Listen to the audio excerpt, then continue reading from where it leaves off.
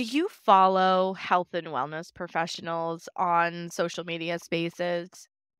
If you do, you may want to tune into this week's episode because there's a lot of information about herbs out there, and I want to make sure that you know how to use them. Join me this week as we take a look at herbalism, how it works, and how it is unlike the current allopathic medicine model.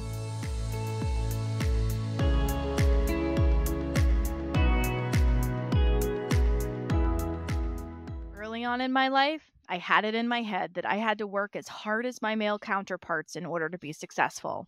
I sprinted as fast as I could in the direction of my goals, brushing off all the signs of fatigue that my body was giving me.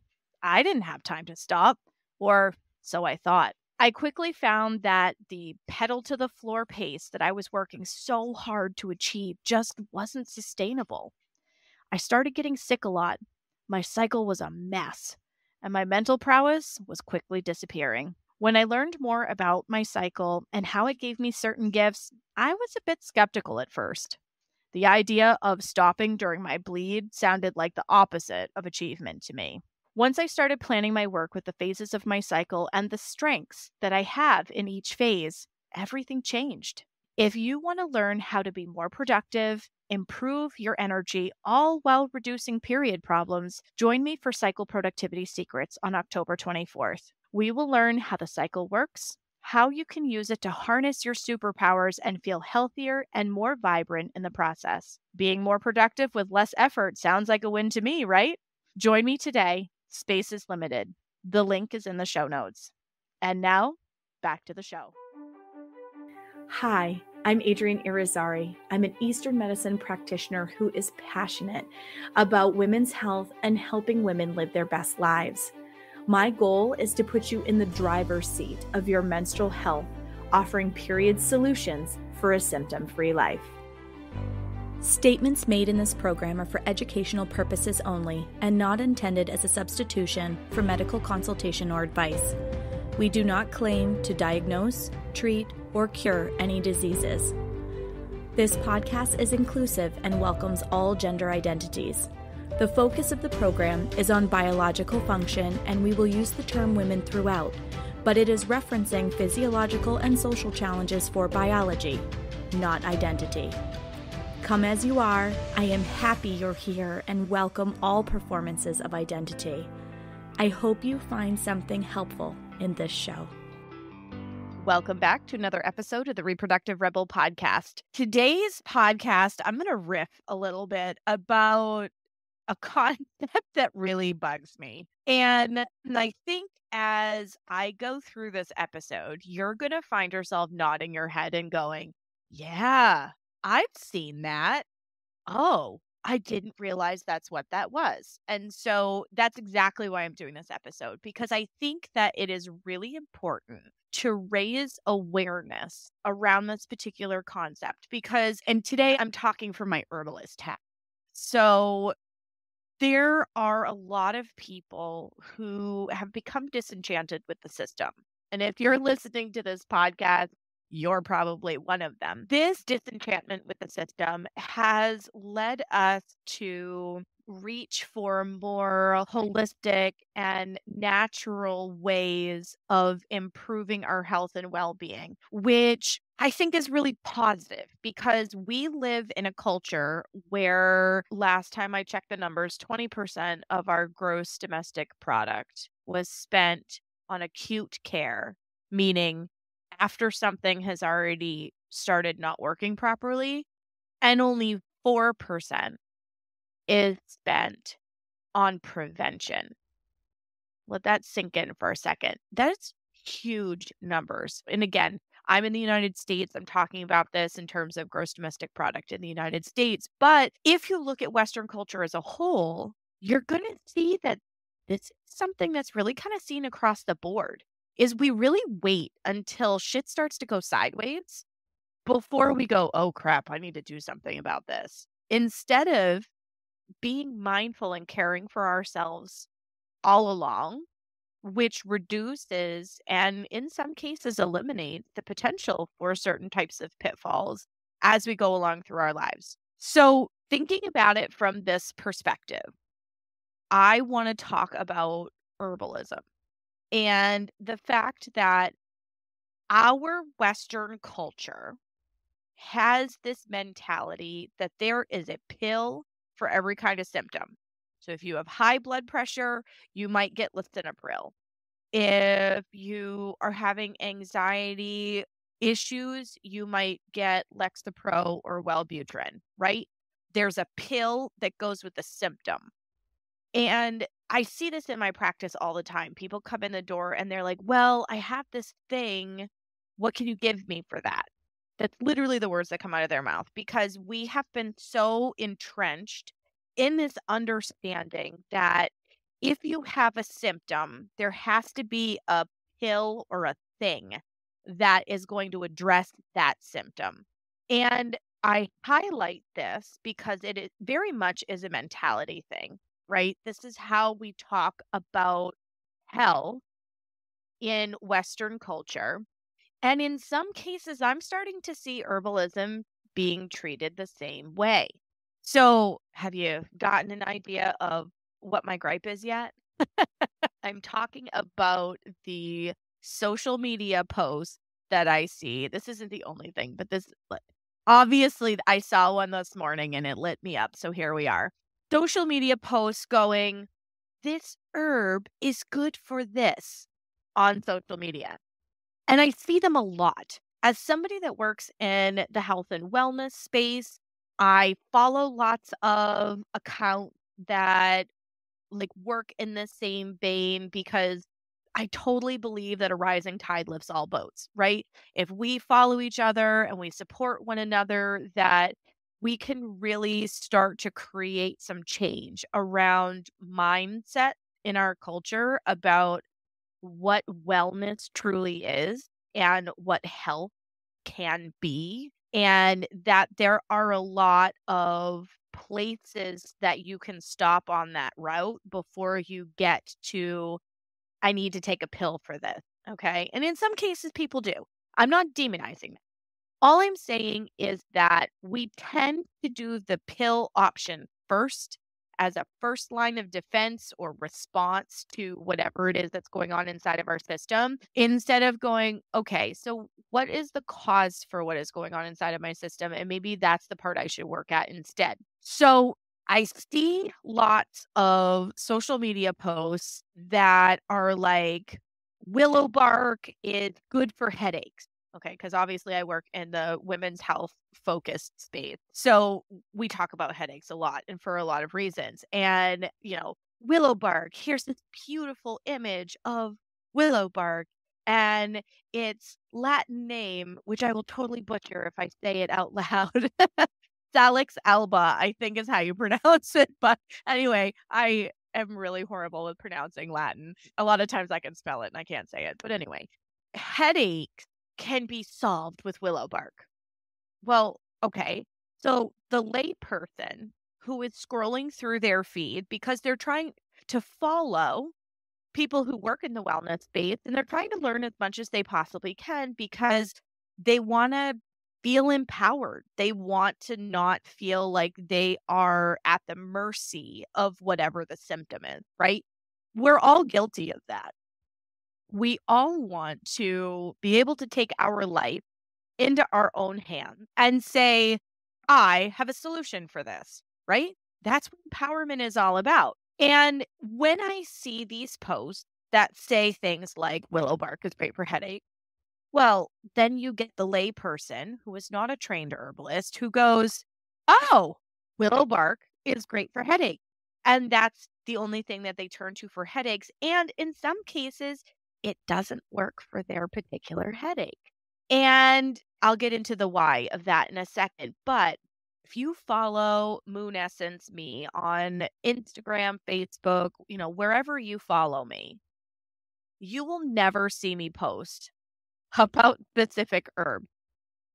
And I do that intentionally.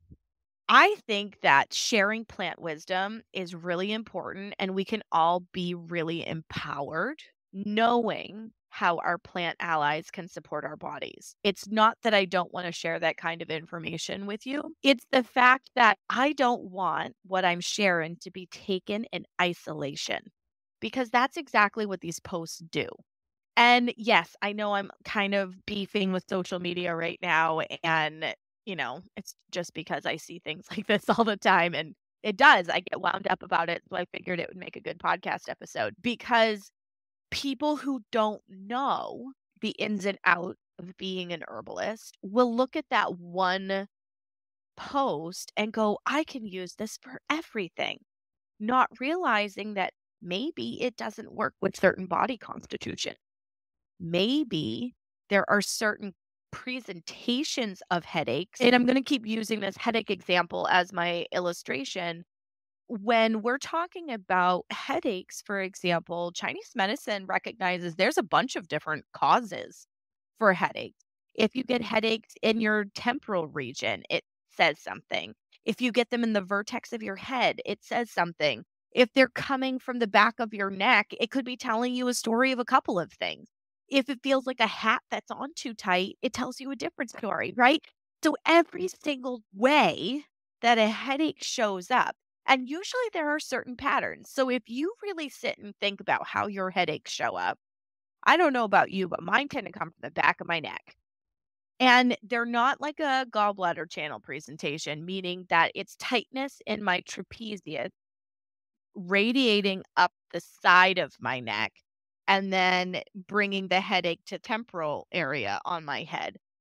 These are like right next to my spine at the base of my neck and they radiate up over the top of my head. And I just want to push right above my eyeballs in order to give myself relief. From a TCM perspective, that's coming from the bladder meridian. The first one that I described with the tight traps and the tight neck, that's a gallbladder presentation headache. A liver presentation headache looks like somebody stabbing you right in the top of the head, or you think that there's somebody stabbing you in the top of the head. I mean, and I can go through like all of the different ways that headaches present and what those causes are, but just in that little snapshot, do you see that headaches are more complicated than just quote unquote headache? So one herb does not solve it all. You need to find the right herb for the why. Okay. If you've been listening to this show, you know that I am the why kid. I need to understand why things happen. And this is why Chinese medicine makes so much sense in my head because it works from this beautiful root and branch theory. And I'll go into that in a second. So you get to the why something is happening in the first place, which for me as a person was really important. So I've been really irritated for a long time about this. Here is this herb. It does these things types of posts because I know that the lay person who is just trying to learn what they can about natural ways of supporting their body, but they're trying to DIY it, will look at that post and think that one herb is going to solve that one problem. And I want people to be aware that it's so much more intricate than that. And when I looked at all of this, I was like, this is a very like Western medicine kind of approach. You have a symptom, here's a pill, right? You have a symptom, here's an herb. And then I stumbled across somebody. He's a brilliant herbalist. His name is Sajah Popham, and he owns the School of Evolutionary Herbalism. I think his work is really brilliant. And he's been one of the influencing schools of thought in my herbal work. And he used the terminology allopathic herbalism. And I had never run across that terminology before, but it just really resonated with me. I'm like, yes, that's exactly what this is there is an herb for a symptom. And it highlights that specific symptoms have certain herbs that will quote unquote solve the problem. But the part about that approach, so I like this idea allopathic herbalism. I think that's a really beautiful way to word it. I don't know if that term originated with him, so I can't point to that specifically. But he was the person whose material that I ran across who use that term allopathic herbalism, like I said, it really resonated with me because I'm like, yes, that's exactly how this information is being presented. Well, let's take that a step further. There are actually some herbalists that practice that way. And I'm not saying it's good, bad, or indifferent. I don't practice that way. And I believe that there are limitations to practicing that way. But I'm not out here to throw shade. P- different people choose to practice the way that they practice for different reasons. But I think that it is more complicated than that.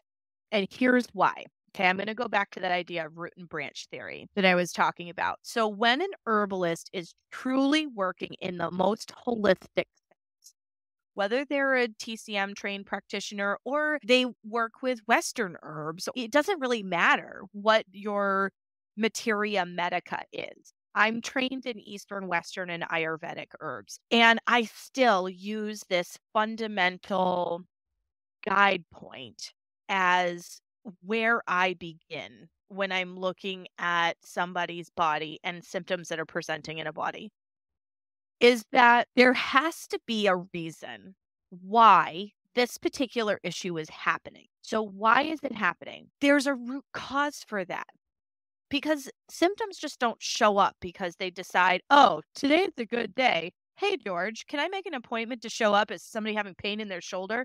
Like, it's not like that there's something in the body that hasn't been functioning optimally for however long. And maybe it's been a slow creep over a really long period of time. And now all of a sudden you have a symptom that is annoying and distracting enough that you feel like you need to be proactive about it. You might have been able to ignore it before that, but you can't now. And so this is why you're starting to look for solution to the problem. Well, pain, for example, can have a bunch of different causes. And where the pain shows up can have a bunch of different causes. It can happen from blood stasis. It can happen from emotions getting stuck or energy being stuck. It can happen for a long list of reasons. And so when we look at the synergistic relationship, now we're starting to consider the whole person. So, from my perspective, this is the difference between allopathic herbalism and holistic herbal approaches. And I'm calling it holistic herbalism because, like I said, it could be whatever materia medica you work with, but there is an energetic component to it, and there is a functional component to the herbs that are being chosen to deal with why the symptoms are happening in the first place.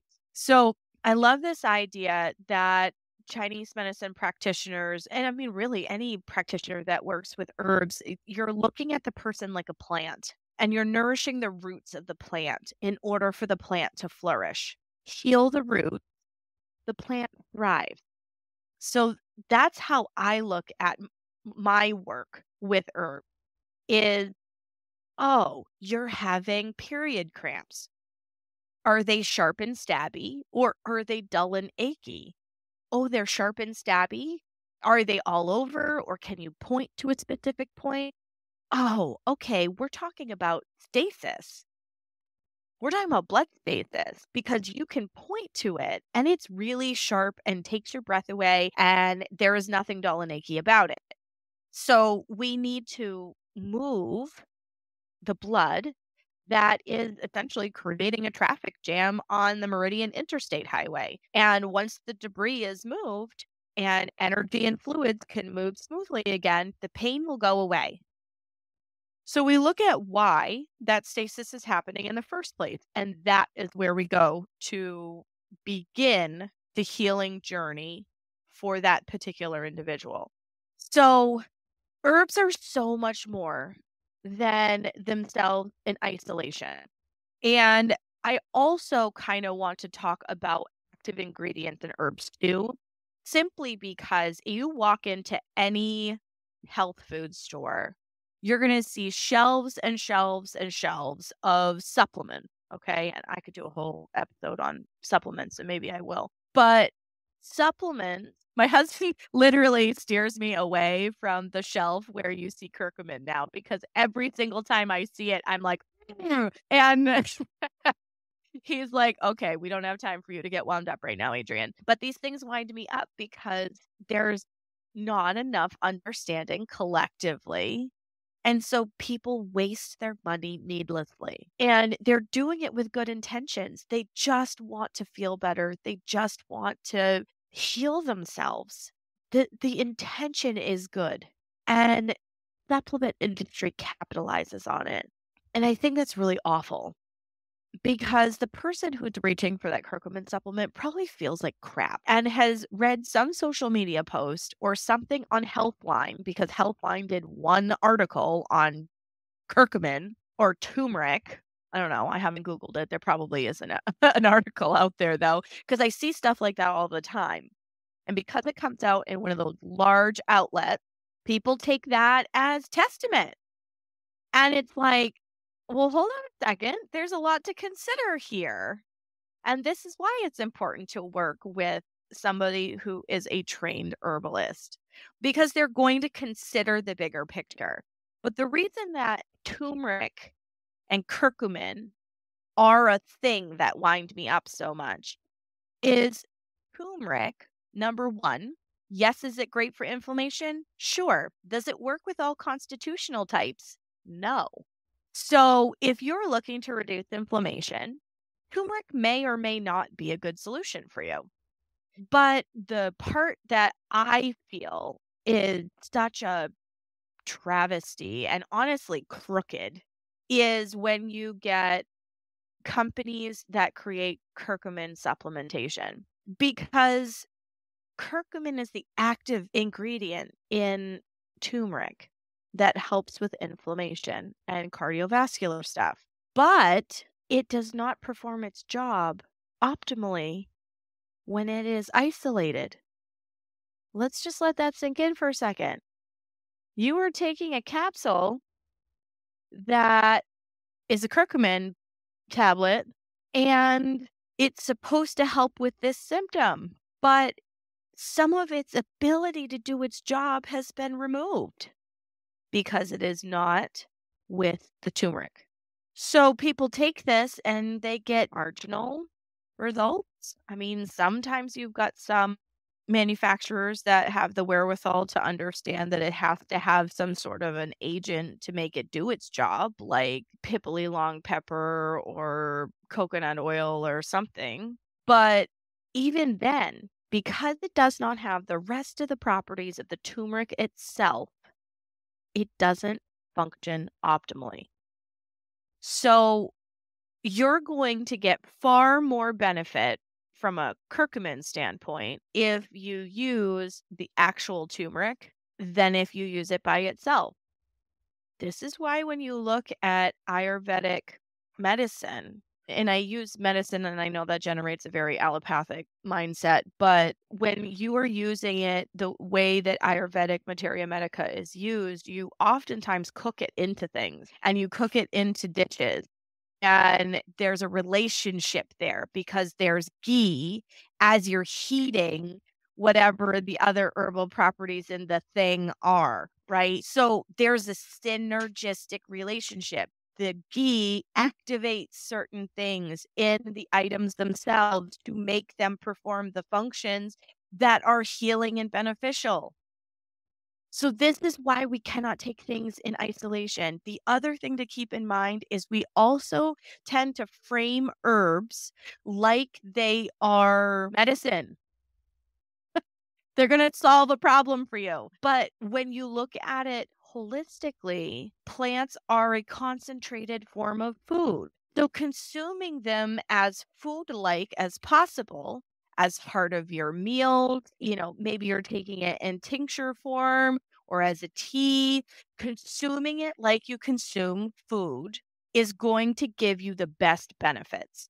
And when you're looking at it like from a tea perspective, for example, a lot of times formulas, and I deal with this with pelvic steaming also is I'll have people be like, "Oh, well, isn't red raspberry leaf great?" Yes, it's great for uterine tone, but what else is it that you're trying to do? It's great for uterine chi, but what else is it that you're trying to do? If you're trying to help with circulation, red raspberry leaf isn't going to do it on its own.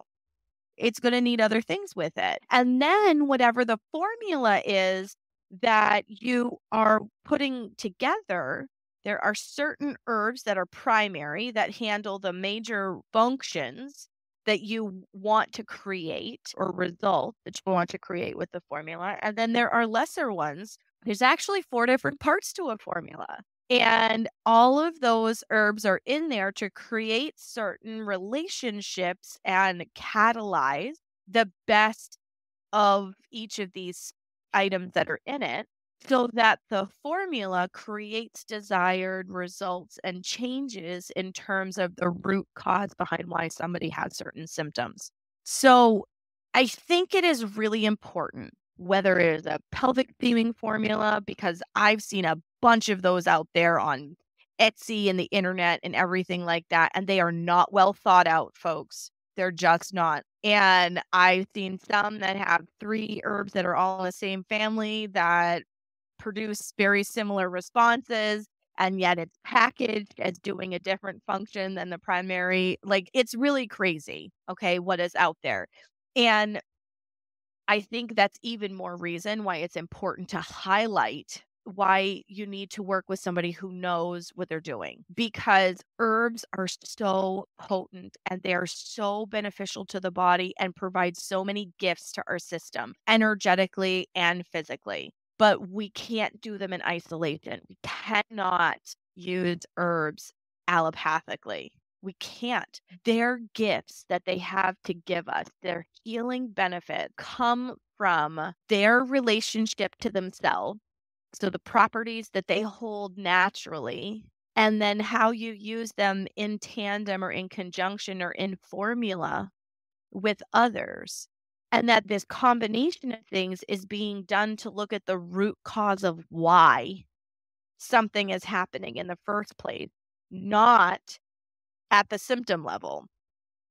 The only times that I can think of doing anything at a symptom level is if you've got somebody that has like ascites, for example, which is like fluid retention in a particular part of the body and like a lot of fluid. It's like a swollen sac of fluid. You'd need to use something kind of potent in order to help the body to pass, drain, and transform that fluid naturally. But you're mm. still not going to do that one in isolation. But it might be the focal point of what you do first because one of the ways that you can help the plant to grow is you remove excess first. Just like if you overwater your plant, you can kill it that way.